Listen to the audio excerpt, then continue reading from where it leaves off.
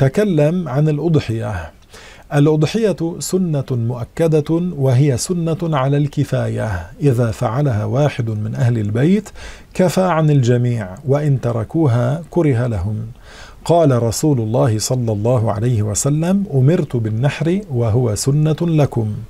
والأضحية يا أحبابنا هي ما يذبح من الإبل أو البقر أو الغنم يوم عيد الأضحى وأيام التشريق ويدخل وقتها بعد دخول وقت صلاة العيد بقدر ركعتين وخطبتين ويخرج وقتها بغروب شمس اليوم الثالث من أيام التشريق التي تلي يوم العيد. والرجل له أن يذبح عن نفسه وعن زوجته وأولاده الذين هم دون البلوغ ولو شاة واحدة. وإذا أراد أن يذبح عن ولده البالغ فيشترط أن يستأذنه ويذبح شاة أخرى. ويجزئ في الأضحية جذع من الضأن أي الغنم والثنية من المعز والبقر والإبل. والجذع من الضأن هو الذي استكمل سنة والثني من المعز هو الذي استكمل سنتين والثني من البقر هو الذي استكمل سنتين ودخل في الثالثة والثني من الإبل هو الذي استكمل خمس سنين. وتجزئ الشاة عن واحد والبدنة من الإبل عن سبعة والبقرة عن سبعة يشتركون فيها. ويستحب للرجل أن يذبح بنفسه ويستحب للمرأة أن توكل رجلا يذبح عنها.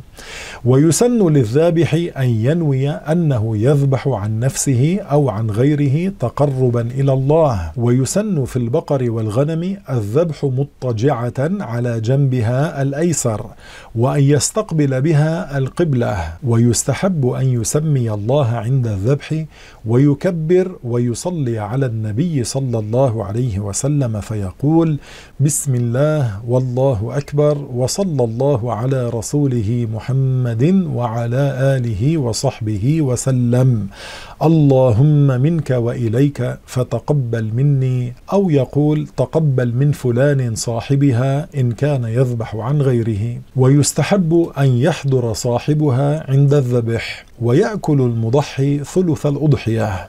ويهدي الثلث ويتصدق بالثلث ومحل التضحية حيث يكون المضحي.